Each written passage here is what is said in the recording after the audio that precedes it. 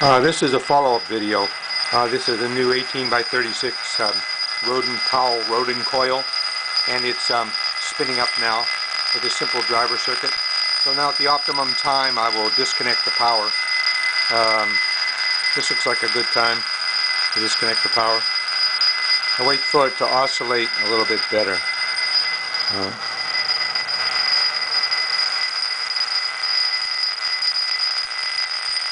get some more of the turbulence going. And it seems to uh, work better that way. Okay, so now I'm going to disconnect the power now. You see? Alright, the power is completely off. Notice that the uh, power light um, stays on, but then it will start to cycle. Uh, see how it gets dark and bright, the power light? Okay, then I'm going to go ahead and pick up the ball here, see if this thing's going.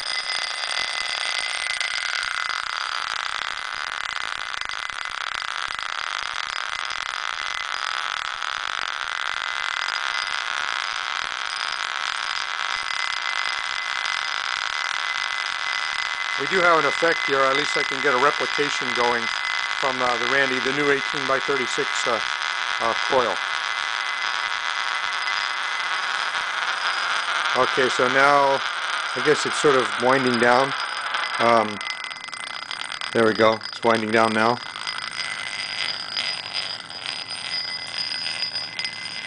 See if we can get it to spin up again. Oh, you need to have the power on to get it to spin up. So let's uh, power it up again to get it to spin up. And so we'll power it up again. See if we can get it to spin again. Okay, come on baby.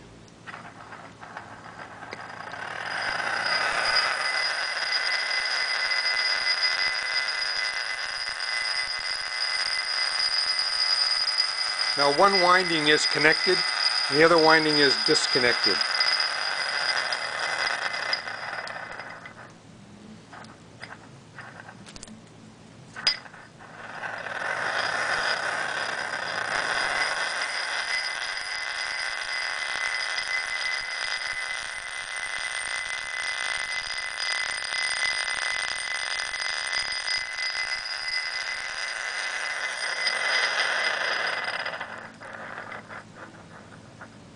Okay, that's it.